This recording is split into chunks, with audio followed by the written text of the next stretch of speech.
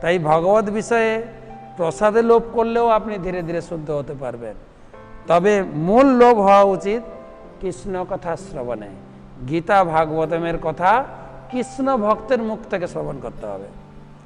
এই গীতা ভাগবতমের কথা যদি আমি অন্যের কাছে শুনি, যিনি বৈষ্ণব নন, যিনি নিজের জীবনে প্রয়োগ করেন না, অনেক পালা কীর্তন হয়, যারা নিজেরাই আচরণ করেন না পালা কীর্তন থেকে বেরিয়ে গিয়ে অনেক কিছু নেশা করতে হয় তাদের। সেই সমস্ত কথা শুনলে যদিও কৃষ্ণ কথা, যদিও কৃষ্ণ লীলা, জীবনটা আরও দূষিত হবে।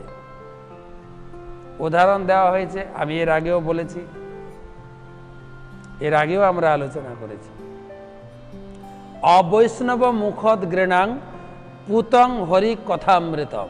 যিনি বৈষ্ণব নন তার মুখের হরি কথা, পুত হরি কথামৃতম হা কত সুন্দর কথা বলছেন।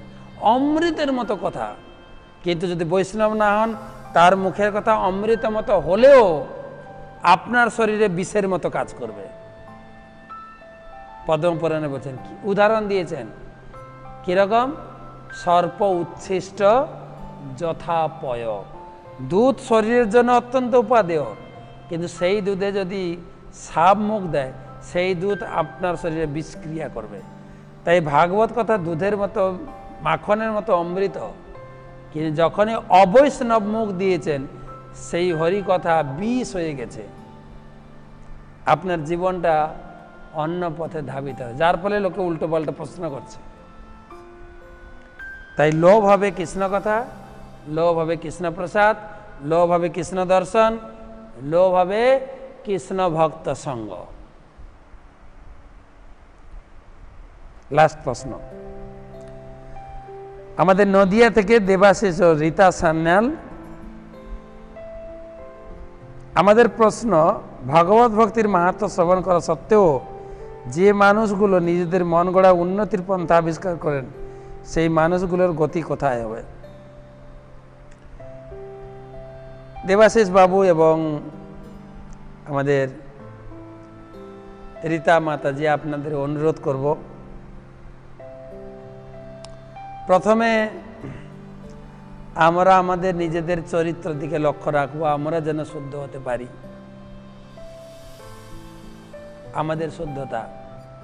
প্রত্যেকে এই ভাগবত কথা শোনার পক্ষে, শোনার পরে আমরা নিজেরা বিচার করি, কোনটা ভালো, কোনটা খারাপ।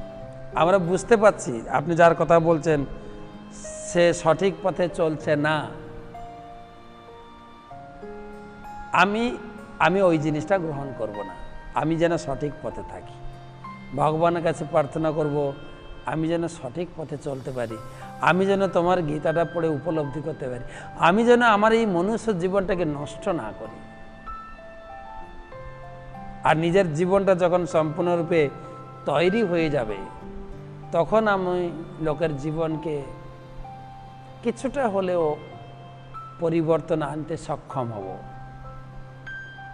তাছাড়া শুধু যদি ভালো মন্দ শ্রবণ করার পরে আমি শুধু যদি লোকের বিচার করি যে ওরা করছে না, ওদের কি হবে? ঠিক আছে, বিচার। কিন্তু শাস্ত্র থেকে তো আমরা পড়েছি। আমরা যখন আমাদের নিজের জীবনটা পরিবর্তন করতে পারব কেসি দাসের রসগোল্লা খেয়ে যদি আমার টেস্ট লাগে, খাওয়ার পরে যদি টেস্ট লাগে, তখন আরেকজনকে বলে বুঝাতে পারব কেসি দাসের রসগোল্লাটা ভালো, তুমিও খাও। কিন্তু আমি যদি নিজের জীবনে টেস্ট না করি, আমি নিজের জীবনকে সম্পূর্ণ যেন গড়ে তুলি। প্রতিদিন গীতা পড়ব, হরিনাম করব, বৈষ্ণব মন্ত্রে দীক্ষিত হয়ে সম্পূর্ণরূপে কৃষ্ণ সেবায়, কৃষ্ণ ভাবনায়, কৃষ্ণ নামে মত্ত হয়ে মনুষ্য জীবনটাকে সার্থক করব।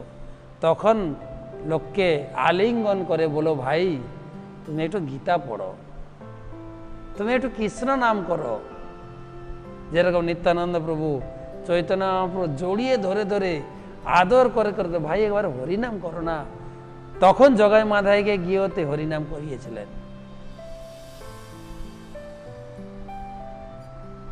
কবিরাজ গোস্বামী চৈতন্য চরিতামিতে বলেছেন তখন তো একটা জগাই মাধাই ছিল। এখন দুনিয়াতে জগাই মাথায় ভরে গেছে। জগৎ ভরিয়া গেছে, জগাই মাধাই সবাই হেরিছে বাট গৌর নিতায় কৃষ্ণনাথ কবিরাজ গোস্বামী বলছেন, জগাই মাধাইতে দেশ ছেয়ে গেছে।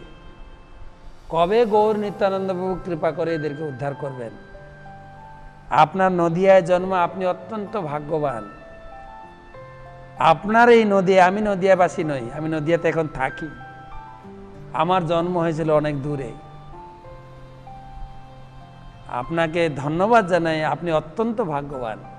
নদিয়াতে আপনার জন্ম, সেই মহাপ্রভুর যে প্রেমের শিক্ষা, মহাপ্রভুর যে প্রেমের মন্ত্র, কত মধুর।